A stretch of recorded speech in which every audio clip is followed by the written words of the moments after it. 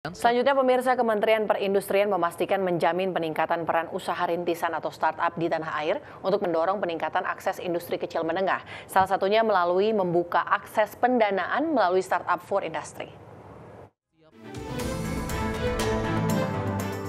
Direktur Jenderal Industri Kecil Menengah dan Aneka Kementerian Perindustrian Reni Yanita menyebutkan, Pemerintah aktif melakukan pembinaan tech startup khususnya dengan membuka akses pendanaan untuk mendorong usaha rintisan atau startup melalui Startup for Industry.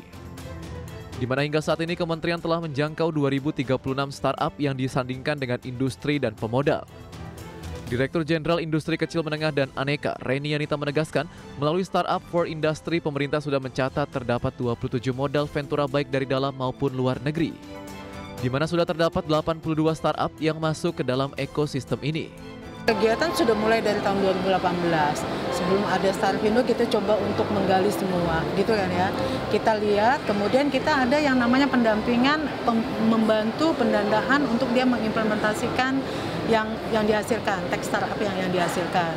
Kemudian dari sisi apa namanya uh, pendampingan kan pasti ada kita juga melibatkan praktisi ataupun yang memang tahu untuk me, apa ya memperbarui atau uh, berinovasi di dalam teks startup yang dihasilkan. Di sisi lain, pertemuan langsung antara startup dengan pemodal ini diharapkan meraih pendanaan hingga 100 juta dolar Amerika Serikat.